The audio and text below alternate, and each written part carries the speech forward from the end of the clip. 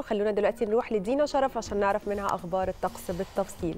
دينا أخبار الجو إيه؟ طمنينا. هو الجو حر النهارده في ارتفاع ملحوظ في درجات الحرارة. خلوني دلوقتي أخدكم في جولة آه، عن أحوال الطقس وهيئة الأرصاد بتتوقع إن النهارده الطقس هيكون حار على القاهرة الكبرى والوجه البحري وجنوب سيناء وسلاسل جبال البحر الأحمر وشمال الصعيد.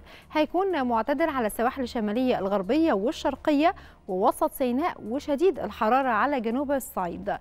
وكمان النهارده في نشاط رياح وشبورة خفيفة على القاهرة الكبرى والوجه البحري والسواحل الشمالية وجنوب سيناء وسلاسل جبال البحر الأحمر وفي فرص أمطار خفيفة على حلايب وشلاتين.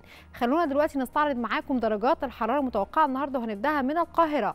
والعظمى 31 والصغرى 17 اسكندرية 25 16 مطروح 23 14 سيوة 32 14 بورسعيد 25 16 دمياط 24 15 الإسماعيلية 32 15 السويس 31 15 العريش 25 15 كاترين 27 9 طابة 30 19 شرم الشيخ 30 21 الغردقة 30 20 الفيوم 32 15 بني سويف 32 16 المنيا 32 17 أسيوط 33 16 سوهاج 34 17 قنا 35 19 الأقصر 36 20 أسوان 37 21 الوادي الجديد 35 16 شلاتين 32 19 وأخيرا حلايب 30 18 النهارده في ارتفاع ملحوظ في درجات الحرارة عشان طبعا كل سنة وحضراتكم طيبين شم نسيم. وأعتقد إن معظم المصريين بيصيفوا وبيطلعوا الملابس الصيفي